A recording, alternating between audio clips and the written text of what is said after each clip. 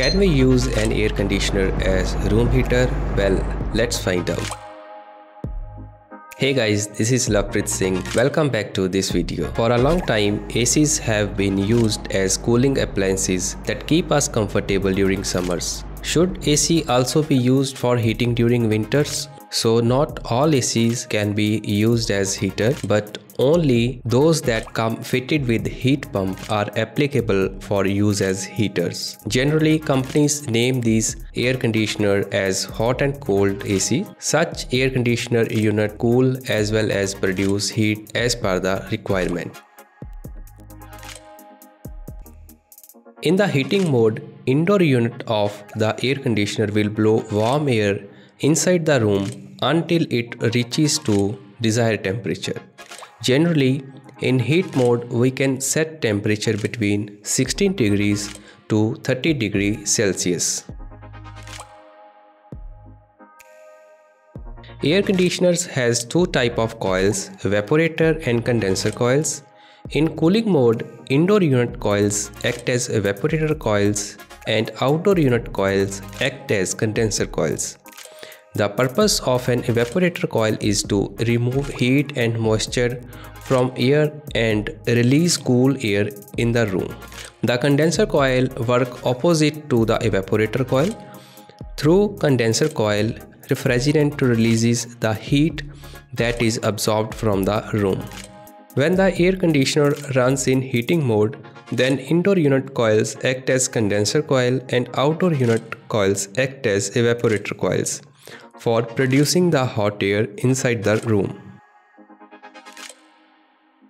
Hot and cold ACs both are available in window type and split type. However, split type hot and cold ACs are more reliable and easily available. Window type ACs are not available online nor in the offline market. So always go with split type hot and cold air conditioner.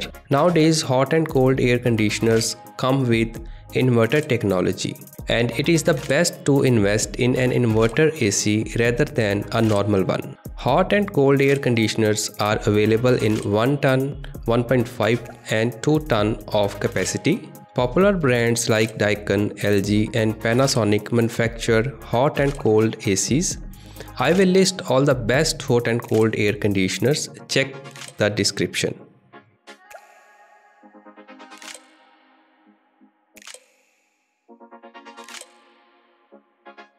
One device for both winters and summers will save the extra space which would have been taken by another heating device.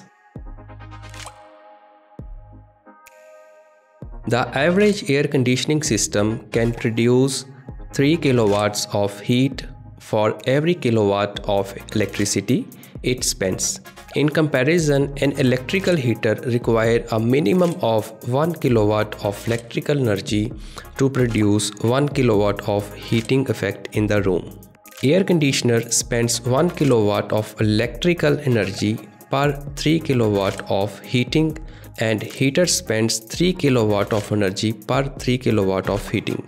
So the difference is clear. This can achieve significant long-term savings. The electric heater has safety issues, especially if you have kids or pets. They may touch it accidentally, whereas the air conditioner is usually fitted at a height that a child or pet can't reach.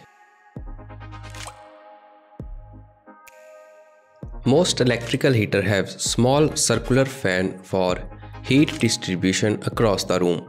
While in the case of hot and cold air conditioner, fans of very high capacity are used for proper distribution of heat across the room.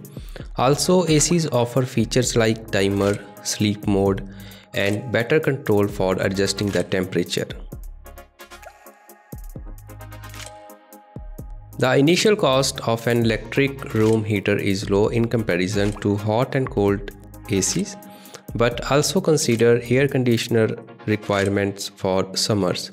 For the area where winter is more than 4 months, hot and cold air conditioner will give good returns on the money invested. I hope this information is helpful to you.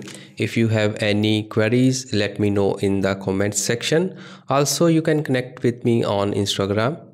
That is all for this video. Thanks for watching.